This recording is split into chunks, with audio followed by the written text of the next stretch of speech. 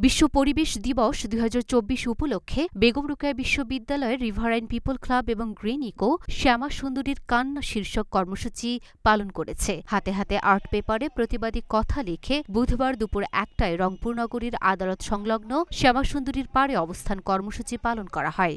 এরপর পদযাত্রা করে রংপুর জেলা প্রশাসকের কার্যালয়ের দেয়ালে শ্যামা সুন্দরীর কান্না লেখা পোস্টার সেটে দেয়া হয়। অবস্থান কর্মসূচিতে বেগম রোকা বিশ্ববিদ্যালয়ের শিক্ষক শিক্ষার্থীদের সঙ্গে যোগ দেন রংপুরের বিভিন্ন শ্রেণি পেশার মানুষ। অবস্থান কর্মসূচিতে বক্তব্য দেন বেগম রোকেয়া বিশ্ববিদ্যালয়ের অধ্যাপক রিভারেন্ট পিপলের পরিচালক ড তুহিন ওয়াদুদ, লেখক গবেষক মোস্তাফা তোফায়েল, সংস্কৃতি কর্মী সফুরা খাতুন এবং বেগম রোকেয়া বিশ্ববিদ্যালয়ের রিভারেন্ট পিপল ক্লাবের আহ্বায়ক সাউমুন পাটোয়ারি সুপ্ত। বক্তাগণ শ্যামা সুন্দরীর কান্না শোনার দাবি জানান। তাদের কাছে এই অবৈধভাবে দখল করে এই জায়গাতে থাকা বিল্ডিং করে থাকাটাই তাদের কাছে মূল লক্ষ্য।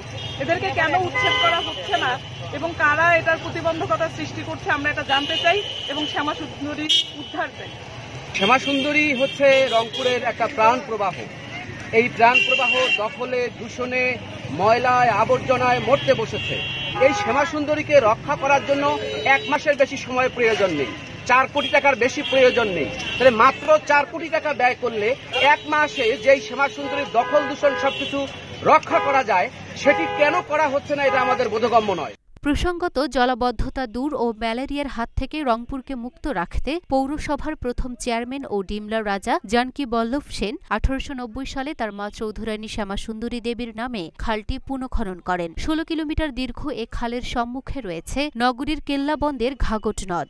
সেখান থেকে শুরু করে নগরীর ধাপ পাশারিপাড়া, কেরানীপাড়া, মুন্সিপাড়া, ইঞ্জিনিয়ারপাড়া, গোমস্তাপাড়া, সেনপাড়া, মুলাটল, তেঁতুলতলা, শাপলা সেতু, নূরপুর, বৈরাগীপাড়া হয়ে মাহিগঞ্জের মরা ঘাগটের সঙ্গে যুক্ত হয়েছে। এলাকা ভেতে এর প্রস্থ তেইশ থেকে নব্বই ফুট ছিল। বর্তমানে শ্যামাসুন্দরী দখল দূষণের কারণে মৃতপ্রায়